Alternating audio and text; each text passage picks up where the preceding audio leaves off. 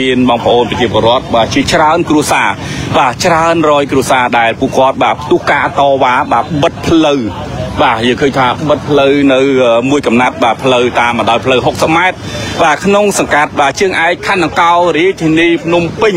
ហើយយើងឃើញថាក្រោមការសម្របសម្រួលពីសមត្ថកិច្ចបាទខណ្ឌដង្កោយើងឃើញថាមានការសម្របសម្រួលឲ្យបងប្អូនប្រជាពលរដ្ឋបាទបំបែកជួរវិលត្រឡប់ទៅផ្ទះរៀងៗខ្លួនវិញបាទដោយ នឹងដោះស្រាយដោយវិធានការបាទឈ្នះឈ្នះទាំងអស់គ្នាបាទយើងឃើញហើយបាទនេះក្រោមការដឹកនាំរបស់ប្រមុខរាជរដ្ឋបាលដែលយើងឃើញថាមានការសម្របសម្រួលបាទ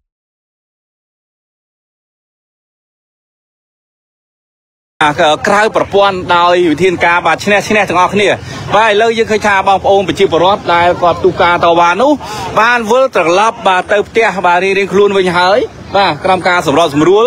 និងបាទដោះស្រាយគ្នា បាទយើងឃើញហើយបាទមុននេះបន្តិចដែលពពរមានដែលយើងទទួលបានពីចំណុចទីតាំងកន្លែងកាត់ហេតុដែលយើងមកដល់នោះឃើញបងប្អូនប្រជាពលរដ្ឋបាទច្រើនមែនទែនដែលពួកគាត់បាទផ្ទុះការតវ៉ាបាទនៅតាមបណ្ដោយផ្លូវ60ម៉ែត្របាទនេះយើងឃើញថានៅចំណុចនឹងចិត្តផ្លូវ60បាទក្នុងសង្កាត់ជើងឯកបាទខណ្ឌកោរាជធានីភ្នំពេញហើយយើងឃើញថាឃើញ បាទវត្តមានរបស់លោកបាទអធិការបាទនគរបាលខណ្ឌកោបាទដែលលោកចុះមកផ្ទាល់បាទដឹកនាំកម្លាំងដោយផ្ទាល់និងបានសម្របសម្រួលជាមួយបងប្អូនប្រជាពលរដ្ឋយើងបាននៅចំណុចទីតាំងខាងលើដើម្បីឲ្យគាត់យល់ពីវិធានការផ្លូវច្បាប់បាទហើយពួកគាត់បកព្រមព្រៀងបាទតាមសមត្ថកិច្ចក៏បានដកបាទចេញវិញពីចំណុចទីតាំងខាងលើនេះអស់ទៅហើយបាទប្រិមិត្តយើងនេះយើងឃើញហើយបាទ នៅតាមបណ្ដោយផ្លូវ60ម៉ែត្រនេះនៅចិត្តនឹងផ្លូវ60បាទយើងមកពីក្បាលថ្នល់គឺហ៊ូអ៊ីអន3បាទឥឡូវយើងឃើញថាបាទសមត្ថកិច្ចលោកបានសម្របសម្រួលបញ្ចប់ហើយឲ្យបងប្អូនប្រជាពលរដ្ឋបាទវិលត្រឡប់បាទទៅផ្ទះវិញអស់ហើយបាទប្រិមិត្តយើងបាទចូលរួម share ដើម្បីចែករំលែកនៅព័ត៌មាននេះបាទបន្ថែមម្នាក់មួយផងក្រោមការបាទដឹកនាំរបស់ ថ្នាក់ដឹកនាំបាទដល់ឆ្លៀសវៃដែលមានការសម្របសម្រួលនិងដោះស្រាយបាទក្រៅប្រព័ន្ធតាមវិធានការបាទនយោបាយបាទឈ្នះឈ្នះទាំងអស់គ្នាបាទដោយយើងឃើញថាមុននេះបន្តិចហ្នឹងគឺបងប្អូនប្រជាពលរដ្ឋមកច្រើនមែនទែនតែពួកគាត់ពួកការតវ៉ាបាទតាមព័ត៌មានដែលយើងទទួលបានគឺប្រមាណជាង500នាក់នោះបាទហើយក្រោមការសម្របសម្រួលបាទគឺសមត្ថកិច្ចយើងបានហៅបាទអឺ មេក្រុម បាទធ្វើការសម្របសម្រួលនិងបញ្យលដោយពួកគាត់ឲ្យបានយល់ពីផ្លូវច្បាប់បាទដល់ពេលពួកគាត់បានយល់ក៏មានការព្រមព្រៀងនិងបាទដកកម្លាំងបាទចេញវិញអស់ពីចំណុចទីតាំងខាងលើនេះបាទប្រិមិត្តយើង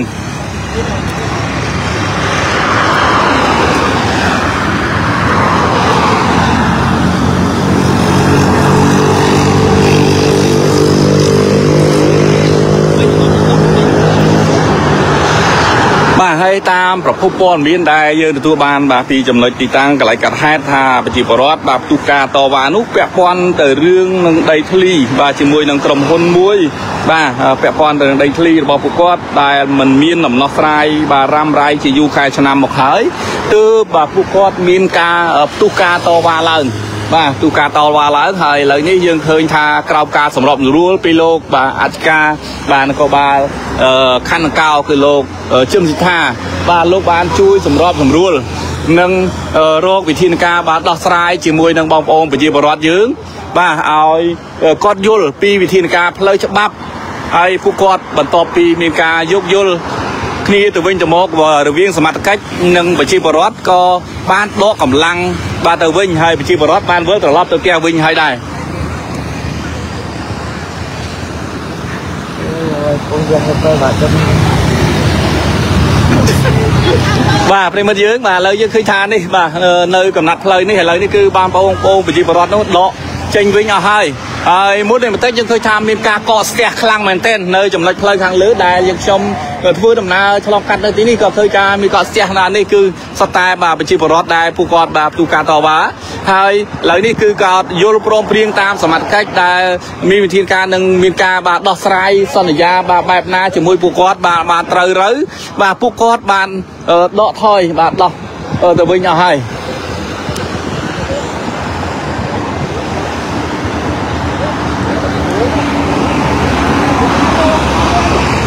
បាទប្រិមត្តលោកនាងជាទីមេត្រីហើយសូមសច្ចៈផងដែរថាគឺហេតុការណ៍នេះគឺកើតឡើងតាំងពីវេលាម៉ោងប្រមាណជាង9បាទព្រឹកបាទថ្ងៃទី30បាទខែមិថុនាឆ្នាំ2024បាទនៅត្រង់ចំណុចតាមបណ្ដោយផ្លូវ60ម៉ែត្របាទក្នុងសង្កាត់ជើងឯកបាទខណ្ឌនគររាជធានីភ្នំពេញដែលមានប្រជាពលរដ្ឋប្រមាណជាង500នាក់បាទតាមអ្វីដែលយើងទទួលបានជាង500នាក់បាទដែលពួកគាត់បាទផ្ទុះការតវ៉ាបាទការຕົកមិនសុខចិត្តជាមួយនឹងក្រុមហ៊ុនមួយ បាទរឿងរ៉ាវបាទដីធ្លីរបស់ពួកគាត់បាទដល់រ៉ាំរ៉ៃដែលមិនទាន់បាទដោះស្រាយបញ្ចប់ហើយនៅវេលាព្រឹកនេះក៏បង្កមានការចាស់ផ្អើលបាទដោយពួកគាត់បានបិទផ្លូវបាទនៅពេលនោះបានសមត្ថកិច្ចបាទអធិការនគរបាលបាទខណ្ឌនគរបានដឹកនាំដោយផ្ទាល់ចុះបាទធ្វើការសម្របសម្រួលជាមួយនឹងបងប្អូនប្រជាពលរដ្ឋបាទឲ្យបានយល់ពីនីតិវិធី នៅផ្លូវច្បាប់ និងក៏ពួកគាត់បានព្រមព្រៀង ធ្វើការដកចេញពីចំណុចទីតាំងកន្លែងកាត់ហេតុដែលវិលត្រឡប់ទៅផ្ទះវិញអស់ហើយបាទប្រិមិត្តយើងបាទឥឡូវនេះគឺពួកគាត់បាទវិលត្រឡប់ទៅវិញអស់ហើយបាទវិលត្រឡប់ទៅវិញអស់ហើយនៅតែសមត្ថកិច្ចបាទលោកនៅចំណុចទីតាំងកន្លែងកាត់ហេតុនេះតាមដានបន្តទៀតបាទ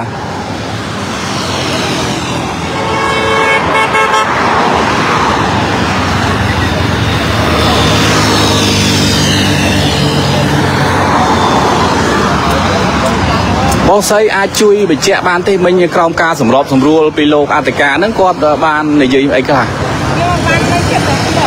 បាននៅចិត្តទេហើយបងអាចជួយបញ្ជាក់ដែររឿងហេតុដែលកើតឡើងនេះដែលធ្វើឲ្យបងប្អូនប្រជាពលរដ្ឋយើងទូការតវ៉ានេះរឿងយ៉ាងម៉េចដែរបាទសូមជួយបញ្ជាក់តិច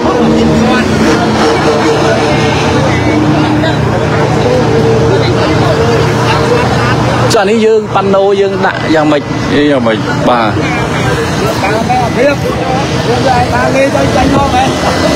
បាទបាទប្រិមិត្តយើងបាទឥឡូវយើងបានសាក់សួរទៅដល់បងប្អូនប្រជាពលរដ្ឋបាទឲ្យគាត់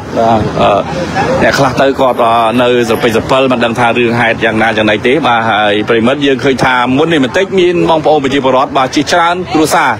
ដែលពួកគាត់បាទផ្ទុះការតវ៉ាធ្វើការបិទផ្លូវបាទនៅតាមបណ្ដោយផ្លូវជាតិអឺ ផ្លូវបាទ60ម៉ែត្របាទក្នុងសង្កាត់ជើងឯកខណ្ឌនគររាជធានីភ្នំពេញហើយក្រោមការសម្របសម្រួលពីលោកអធិការក៏ដូចជាបាទសមាជិកបាទនៅក្នុងបាទខណ្ឌនគរបានធ្វើការសម្របសម្រួល និងបញ្យលដល់បងប្អូនប្រជាពលរដ្ឋយើងឲ្យដកកម្លាំងបាទដកគ្នាចេញពីចំណុចទីតាំងខាងលើវិញដោយអត់ដឹងថាយើងនឹងមានវិធានការយ៉ាងណាបន្តទេ បាទជាមួយសមាជិកនិងដំណោះស្រាយឲ្យបងប្អូនប្រជាពលរដ្ឋបាទទៅពួកគាត់បាទមានការដកចេញពីចំណុចទីតាំងកន្លែងកាត់ហេតុអស់ទៅហើយបាទទៅផ្ទះវិញអស់ហើយបាទប្រិមិត្តយើងបាទឥឡូវយើងឃើញថាបាទសមត្ថកិច្ចបាទច្រើនមែនទែនបាទគ្រប់ជាន់ថ្នាក់បាទទាំងកម្លាំងអឺរដ្ឋបាលក៏ដូចជាកម្លាំងបាទប៉ូលីសបាទ PM បាទដែលសហការ ចុះមកចំណុចទីតាំងខាងលើនេះដើម្បីរារាំងនិងបញ្យលទៅដល់បងប្អូនប្រជាពលរដ្ឋយើងឲ្យយល់ពីវិធានការបាទផ្លូវច្បាប់ក៏ដូចជាយល់ពីការដោះស្រាយនិងដំណោះស្រាយជូនពួកគាត់បាទទើបពួកគាត់មានការព្រមព្រៀងនិងដកវិលត្រឡប់ទៅផ្ទះវិញបាទប្រិមិត្តយើងបាទនេះយើងឃើញហើយបាទនៅចំណុចខាងលើនេះឥឡូវនេះគឺមុននេះបន្តិចបាទនៅចំណុចខាងលើនេះគឺប្រជាពលរដ្ឋបាទច្រើនមែនតើបាទជារដា ប់ជាកាប់ឡៃបាទឥឡូវនេះគឺពួកគាត់បានយល់បាទព្រមព្រៀងនឹងវិលត្រឡប់បាទទៅផ្ទះវិញអស់ហើយបាទនៅចំណុចទីតាំងខាងលើនេះប្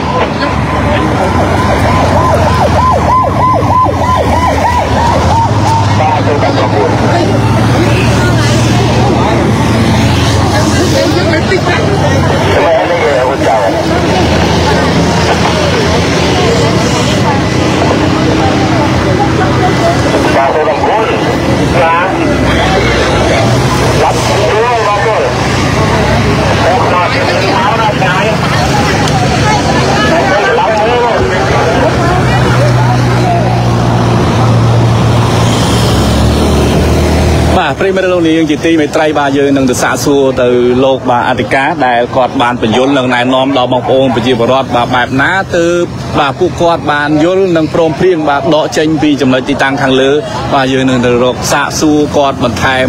បន្តិចបាទនោះបាទលោកអធិការគឺគាត់ពាក់អាវក្រហមអាវយឺតក្រហមបាទយើងសាកសួរគាត់បន្តិចបាទដើម្បីឲ្យបានអឺ មហាជនបាទយល់កាន់តែច្បាស់ក្រោមការសម្របសម្រួលពីលោកបាទអធិការបាទអឺគោរពបងអធិការបងសុំសួរបងបន្តិចបងបងមានមានវិធីនៃការបងគោរពបងសុំសួរបងបន្តិចបងអឺមុននេះបន្តិចបងអឺដោះស្រាយមួយពួកគាត់មិនបានពួកគាត់ព្រមព្រៀងដកចេញវិញមើលបាទបាទបាទ បាទគឺអឺបងអធិការអភិបាលបាទគាត់ថាអត់អីទេបាទឥឡូវក៏ក្រោមការអឺសម្របសម្រួល បាទគឺពួកគាត់បាទយល់ព្រមអឺដកបាទពីចំណុចទីតាំងខាងលើវិញអស់ហើយបាទដោយវិធានការបាទឈ្នះឈ្នះទាំងអស់គ្នាបាទប្រិមិត្តយើងហើយយើងខ្ញុំក៏ធ្វើការបិទបញ្ចប់នៅកាលឡាយផ្សាយផ្ទាល់តែប៉ុណ្ណេះហើយបាទសូមអរគុណនិងសូមជម្រាបលា